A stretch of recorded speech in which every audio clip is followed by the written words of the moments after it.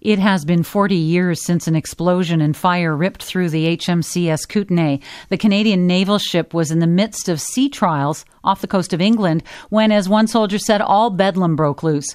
Nine people died and more than 50 were injured in what was the worst peacetime disaster in the Canadian Navy. For years, the men who survived the fire were reluctant to tell their story, but today you will hear their account of what happened in a documentary prepared by the CBC's Sandra Bartlett and Suzanne Reber. Sandra Bartlett joins me now. Good morning. Good morning. Well, why has it taken so long for this story to be told? Many of the sailors didn't see each other after the return to Halifax. The Kootenay had to be rebuilt, and they were reassigned to other ships and other locations. And of course, given the military mentality at the time of suck it up and move on, mm. they didn't feel encouraged to share their experiences. So I imagine they just lost touch with each other?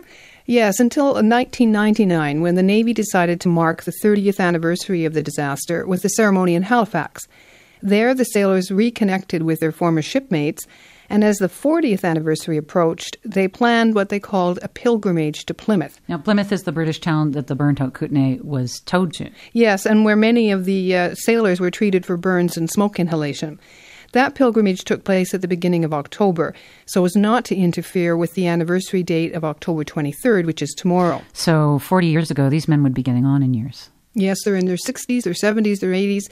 And of course, they don't know how many will still be around for the next big anniversary. And so, with that in mind, I asked some of them to tell me what happened that day 40 years ago. You'll hear from Russell Saunders, John Montague, Cyril Johnston, and Alan Dinger Bell. They would have all been young men back in 69, huh? And when you listen, you'll hear stories they've never even told their wives. Hmm. Okay, well, Sandra Bartlett, let's listen to your documentary. This is Explosion at Sea. We were quite excited. We just finished a European cruise and we just finished a nice port visit in Plymouth. And we're heading home, even though I was a young bachelor and no commitments in life. Or, no real ties. I remember they used to play records in the uh, bosun's forward section of the boat. You could hear them, you know, the rock and roll music going. So it was just a very upbeat feeling. People were anxious to be home. No, it was just a regular morning. Uh, the engineer officer and chief ERA were standing by the main feed tank. We'd started into full power, and um, Everybody was standing pretty well around the console. I stood watch. I had the, the middle watch that uh, that night from midnight to four in the morning. So I was literally in my bunk. I was sound asleep. And then I opened the door to the laundry, and as soon as I opened the door, there was a, a shutter. The ship shuddered. All of a sudden, there was a whoosh. And then we said to each other, "What happened?" I had no idea. I said, Maybe we hit a rock out here at sea. You know, I don't know what's going on. First thing we noticed we both looked at each other. It Was a pop. Our ears sort of pop a bit. You know, like the pressure change. And the phone was ringing in my cabin. I grabbed the phone and uh, one of my cabin mates was up on watch. He was screaming. And we looked and there was a big wall of flame coming up the starboard gearbox. John, the ship's on fire. Get out, get out. Well, Chief ERA grabbed the telephone to phone the bridge to tell him that there was a fire. Petty Officer McKinnon taking the starboard throttle and trying to turn it back to slow us down. And the engineer officer grabbed the port throttle and try to turn it back. They got it turned back. And, uh, I was putting on a pair of trousers and I realized I, can't, I haven't got time to do anything else. This smoke just getting billowing, as it were. It's thick black diesel smoke, very toxic smoke, oh, awful stuff. Usually they say for exercise, for exercise, for exercise, three times. But this day it was, this is not an exercise. Hands to emergency stations. Fire, fire, fire, fire, fire, fire in the engine room. Hands to emergency stations. This is not an exercise and then all bedlam broke loose down in the engine room. Everybody wanted to stay alive. I opened the doorway, and at that very instant, I was lifted off my feet and was propelled down the hallway, which we call Burma Road. At that instant, I looked back and I saw smoke and flames coming out of both hatches of the engine room. That's both the forward and the after hatch. Black, oily smoke. I mean, it was just dense and black. The engine room that is full of oil vapors. So it's just like uh, the fire went straight up and then swoosh, just swooshed all around the engine room. And there's a, a pump down in the engine room called the forced lube pump. And when the casing split on that gearbox, the boiler room didn't know what was going on. So we're up to full power. The boilers are, are cranked up full power. Full power is going to those uh, to that forced lube pump. It's spraying oil into the gearbox, and that oil is splashing out of the gearbox, and it's coming all over top of us too. And so that just kept going. I looked back and I saw smoke and flames coming out of both hatches of the engine room. I then saw somebody coming out of there who was on fire, and that would be our engineering officer, and he was going to the bridge to report the fire. I stepped into the cafeteria, which had, which had quite a few people in it, having their uh, morning breakfast, and that was instantly filled with black smoke and flames at the doors. And then um, the petty officer Stringer jumped up from his seat and asked me what it was, and I told him what I had observed. And so we got the servery open because there was no escape other than over the servery. It's a big steel wall that drops down. A shutter is a better word. And we got that open. Uh, the cook inside opened it, and uh, the guys, there was about 30 sailors, they couldn't get past us to go out into the hallway that was burning, so they had to go over the servery. So I, I can't move. Uh, everything is heavy. I've lost the oxygen in my system, and consequently, moving my legs or arms was impossible. Eventually, I went unconscious. The other person in my cabin, the poor guy, a young Air Force private, assigned to the ship just before we sailed from Halifax. He, was, he couldn't move. He didn't know what to do. He didn't know where to go. He didn't, didn't know the layout of the ship. So I literally grabbed him by his belt and I pushed him down the passageway. You couldn't see. But you, I knew the ladder was straight ahead. And boom, you hit that steel ladder, you know. And boom, he, we went up that ladder in one heck of a hurry, I'll tell you. You got two choices. You can stay where you are, or you can leave. And I think instinct kicks in, at least for us, and we just open the door and ran for it. And we were heading for the ladder, which would be, oh, I don't know, maybe 30 steps away.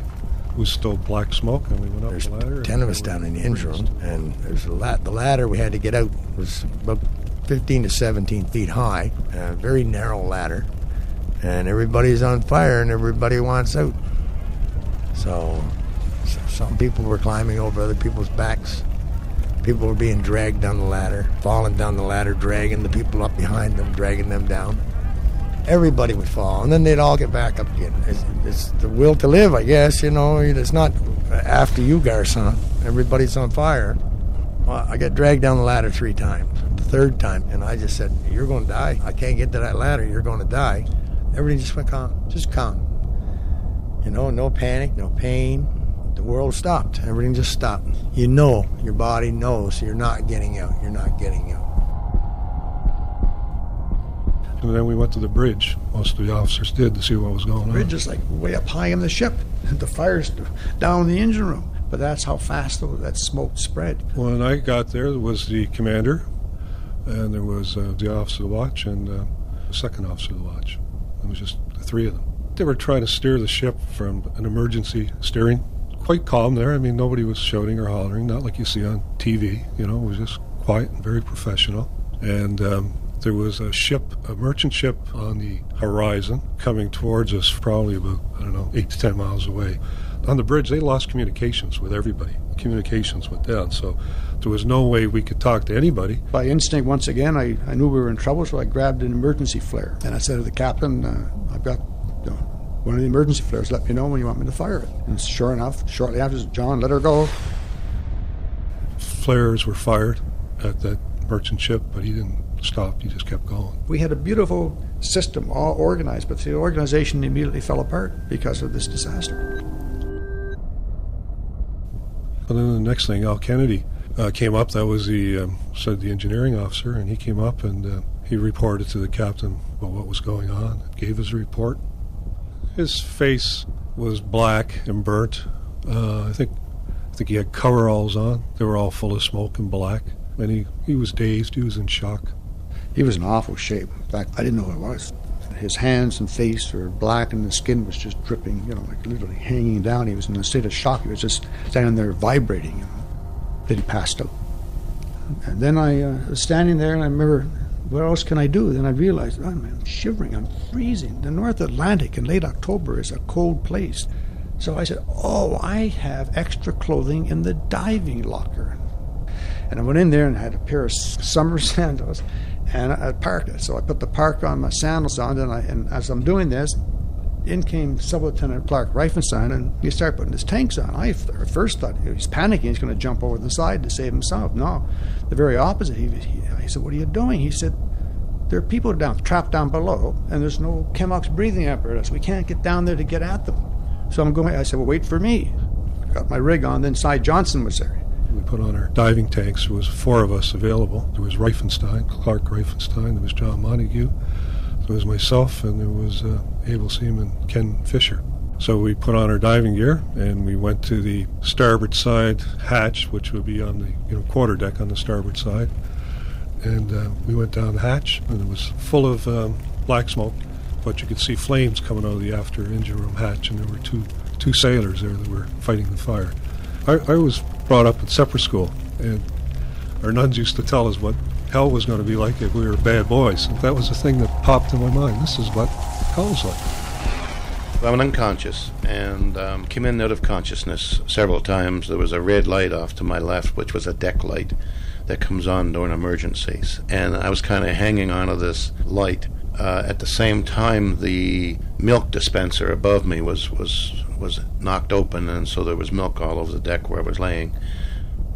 Probably cooled me a bit. And then I would go unconscious again, and then there was a couple of us in there. I said, are we dead yet? One guy said, if you're you wouldn't be asking questions.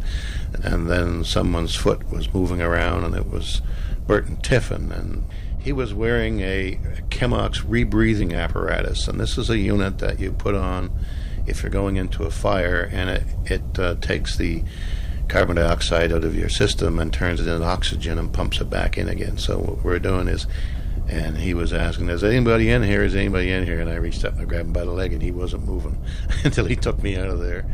Not a very big man, but mighty and strong in strength, and he was about five foot seven, and just carried me right up the hatchway. We were looking for people. We just didn't know who was there and who wasn't. There's four of us, and we're just moving along in the dark.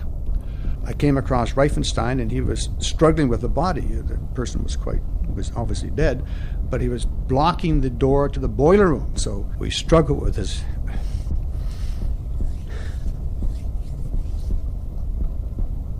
Anyway, we got this body dislodged, and uh, we were able to open the door. And uh, Reifenstein went down, and I, I carried on. I couldn't do anything for that body, so I carried on, looking for other bodies. I think if we had a saw flames, we would have backed off, but we didn't see anything, so we just kept moving until we got to the um, after boiler room forward engine room hatch area. There was a sailor laying there, spread eagled, on his face, and uh, uh, well, he had no clothes on him. Anyway, there was a sailor there. He was spread eagle on his face, and um, he was lying there, and was, he had no clothes except for a white pair of underwear, and uh, he had fouled out with feces. I remember that just looking at it, and you could see the sort of smoke and I think some flame coming up because it was light, so we could see him. Fisher came around and he grabbed his wrists, and I grabbed his ankles, and it was you know just an awful feeling. I was revolted by it because his skin was squishy, and it was felt like it was going to come off of my bare hands but I managed to overcome that feeling. And we carried him forward to the officer flats again. And we carried him there, and um, doctor was there, and they were looking down from above, from the wardroom flats, the next level up. We left him there for them to come down and get. I never did see his face, and quite frankly, in some ways, um, it's good that I don't know who he is. All of a sudden, there was this terrific increase in heat. The heat was unbearable. All of a sudden, it just it, it doubled someone screamed, It's going to blow. I heard it. Get out. Everyone get out. And so I went back up to the upper deck. Then they wouldn't let us go back down because uh, that's when I heard someone say, geez, those tanks could explode and you make the, you, you make the, the conditions worse. After three times being dragged down the ladder uh, and just the pandemonium that was going on at the bottom of the ladder, what was the point in trying? My, my brain said, You're going to die. I tried to stop one guy from grabbing people and pulling them and throwing them out of the way. And he just took me and he just threw me to the port side of the engine room. And when I stood back up, they just started dropping dead in front of me. They just started dying. Just. And when they died, there was nothing more to keep me from getting up that ladder. There was nobody else trying to get up the ladder because they were all dead at the bottom of it. So I started climbing the ladder, but the ladder was so hot that the skin was coming off my hands and I couldn't hang on to the ladder anymore. So I started using my forearms, and every time I put my forearm on the ladder, when I lifted, big hunks of meat would come off my forearms. I guess I got about three quarters of the way up the ladder, and I couldn't go no further because there was there was somebody on the ladder. He couldn't move, so I had to put my head up his butt and push him up the ladder, and I got him up high enough that I got the door open, and he fell out. Well, when I tried to get out the door, I tripped over him, and I fell in the deck and it was that hot that the blood coming out of my arms and that was actually bubbling, just like it was in the kettle. I was cooking like an egg. I made it to sick bay, and uh, the doc was in sick bay, and he had me sitting on a stool, and he was picking pieces of clothing off me that was, you know, what was left of my shirt, and uh, we're sitting there, and I looking at the kickout panel, and the smoke was coming through the kickout panel into the room and I said, Doc, I said, we got to go. We got to get out of here. And he said, just a minute. He was trying to grab his stuff, but I wasn't waiting. So we were going in circles. The ship was actually going in circles. All the wiring and all the controls were, were burnt. The salt water was coming over and, and landed on top of me. And that's when the pain started, when the salt water hit all them open burns. So I got 49% burns from the waist up. And eventually, I just I said I gotta I gotta go. The waves are coming over the forecastle nobody was coming down to get me, so I said, I've got to get up there. And I said, either the waves take me into the ocean or I make it to the bridge. And I made it to the bridge. Well, by that time, they, they, the helicopters from the other ships were coming over, dropping off supplies, dropping off people, you know, from firefighters who, who had who specialized in fighting fires, and and I don't know, lost track of time. 40, 50, 60 minutes later, they had the fire under control it looked like sort of bees around a, their nest, and helicopters were buzzing around there. And Robbie Robichaud was directing them, and they were coming down just off the quarterdeck. You know, just I don't know, maybe two feet off the quarterdeck. They weren't landing; they were just hovering there. They were dropping off personnel and equipment and taking wounded off and, and that sort of thing. Probably was in the afternoon, early afternoon, when the fire was over. People just sort of sat around, and you know, we were probably in shock then I went down to my cabin. It's just uh, an incredible sight. Everything is full of smoke and oil. I was put in uh, one of the gunnery lockers. It's a big area for treatment, and then moved to the wardroom. And I just kept going into the consciousness. And one time I woke up, there was a guy breathing in me. So uh, he said, "Just stop breathing." Um, his name was Hap Sorensen. You remember who wakes you up? Um, and uh, and then I just went unconscious and I woke up on board the HMCS Bonaventure. Well, I personally stayed on the ship. There's no place else for a junior officer to go. It was just, uh, that's just the way it was. You had work to do. You had to look after your people. The, the ship wasn't functioning very well. There were a lot of unhappy people, distressed people, and you still had to try to, you know, function the best you could. The ship was toxic. I mean, you know, you're you're living in a smoke-filled, burnt ship it's not pleasant. Everything's black. In a way, the aftermath is as bad as the actual incident itself. And back then, no one ever heard of post traumatic stress syndrome.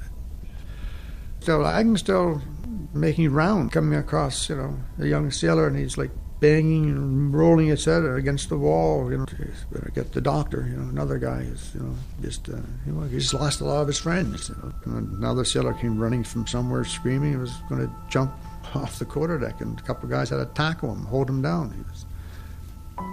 My reaction took over 30 years. You know, I had a one hell of a delayed reaction. At the time, I did not. I was really was in good shape, but boy, it's bothering me now psychologically, you know, which I can't explain. The, you get the um, the smell, especially. It hasn't left your nostrils. It hasn't left your psychology at all. You could smell it all the time. When you close your eyes to sleep, you have nightmares you can get all the psychological help you want and all of that, but you don't forget what happens to you and your friends.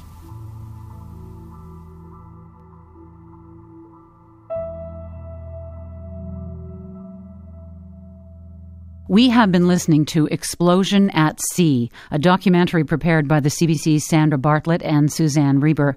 And Sandra is with me in the studio. Even after all these years, the horror and the sadness is still so evident, Sandra. Nine men dead, more than 50 injured. That's right. And listening to them, you have to wonder why more didn't die. Mm. Now, those who did die, were their bodies brought back to Halifax? Actually, no. It, it was another time. It was Canadian government policy dating back to the World Wars that bodies were buried in the country where the death occurred. And for the Kootenay families, their only choice was earth or sea. So four families chose a cemetery burial, and four others chose burial at sea. Hmm. Now, the ninth sailor is buried in Canada because he died of his injuries on board the HMCS Bonaventure as it was returning to Halifax. So this was 1969, and we're talking peacetime, but I'm still trying to get my head around the idea of burial at sea because I didn't think that that happened even 40 years ago. What, what did the families have to say about that policy? Well, as you can imagine, the families were upset not only about the burial at sea, but a burial in a foreign country, and they were limited as well to how many family members were flown to Plymouth for the funerals. But I guess their message got through because a month later the policy was quietly changed. And since then, all members of the Canadian Forces who die are brought back to Canada for burial. So these families managed to change a policy which is still helping military families today. We see it when our soldiers die in Afghanistan, huh? And there were other positive changes. For example, on the Kootenay, the ladders were made of aluminum because it's a light metal and the less weight on the ship, the better, while the ladders melted under the intense heat of the fire. So now the ladders are made of steel. Interesting. So the very ladders that would take them to safety were part of the problem. What else was done? Well, actually, quite a bit. Firefighting equipment is now located throughout the ship, not just below deck as it was on the Kootenay. And some people think the inability to get to that firefighting equipment might have doomed the ship. The fire might have destroyed it, had other nearby ships not come to the rescue with their equipment. So now each section of the ship is outfitted with a full range of firefighting equipment and breathing apparatus. Hmm. And something else came out of this tragedy. Ships were redesigned so that today every area has at least two exits to prevent sailors from being trapped as they were on the Kootenay. So those changes must be of some comfort to those Kootenay sailors who were talking to you. Yes, they are, very much so. And they're also pleased that every sailor in the Canadian Navy learns about the Kootenay explosion as part of firefighting training.